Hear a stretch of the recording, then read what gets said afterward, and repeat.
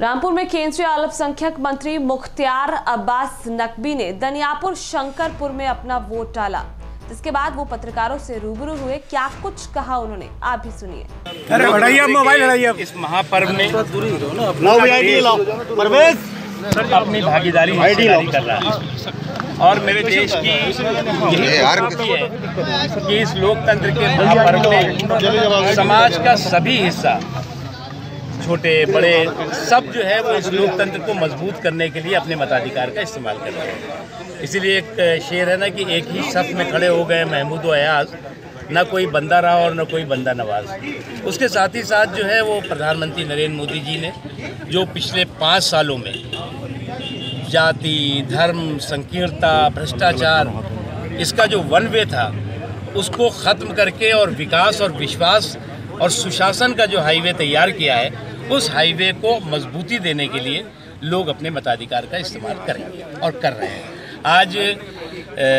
पूरी ताकत के साथ लोग जो है, एक स्टेबल सरकार, एक स्थायित्व से भरपूर सरकार, एक सुशासन को समर्पित सरकार,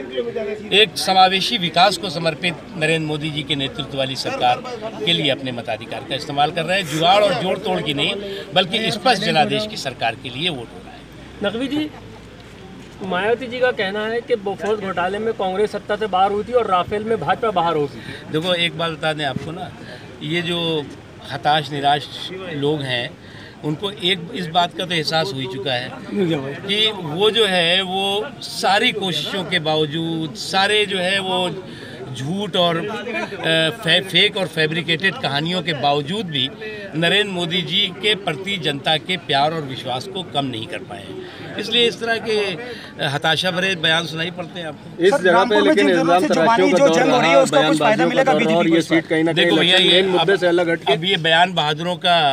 खत्म हो गया टाइम। अब इस वक्त तो जनता जो है वो वोट अपने दे रही है तो वोट तय करेगा जनता वोटर तय करेगा कि देश के देश की तस्वीर और देश की तकदीर किस किस तरह की होगी और किसके हाथ में। नकवी जी उत्तर प्रदेश में कितनी सीटें ला रहे हैं आप इस बार? गठबंधन बना है इसका कैसा असर रहेगा क्या मानते देखिए इस गुनाहों के गठबंधन की गठरी में बहुत सी गांठें हैं और बहुत से पेबंद सामने देखिए सर। ये गांठें और पेबंद निकलते निकलते चुनाव भी निपट जाएगा और ये गठबंधन के गुनाहों के गठबंधन के गुनाहगार भी यूपी में कितनी सीटों की